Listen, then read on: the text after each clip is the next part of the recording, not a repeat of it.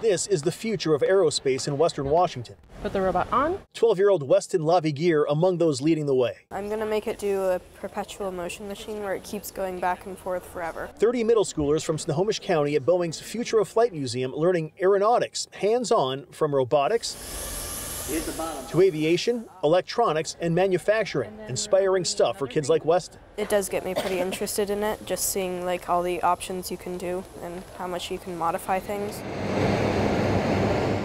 According to Snohomish County, Boeing brings in $60 billion to the Washington economy every year, supporting 158,000 jobs. But thousands of planes are on backlog, and a skilled worker shortage is slowing recovery. But with post pandemic graduation rates slipping and a generation less likely to be as well off as their parents, will there be a young, educated workforce to keep it all going?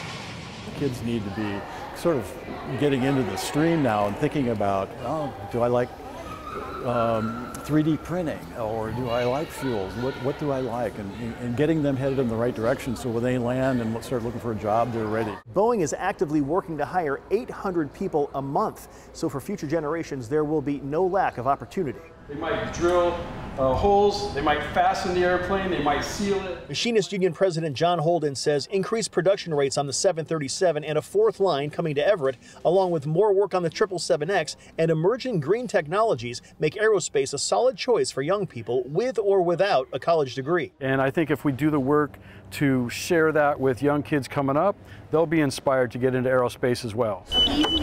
That's what events like this one are for, and as Weston sketches out the plans for his future, he likes what he sees in aerospace. It lets me see the different opportunities that are possible for me. In Everett, Eric Wilkinson, King 5 News.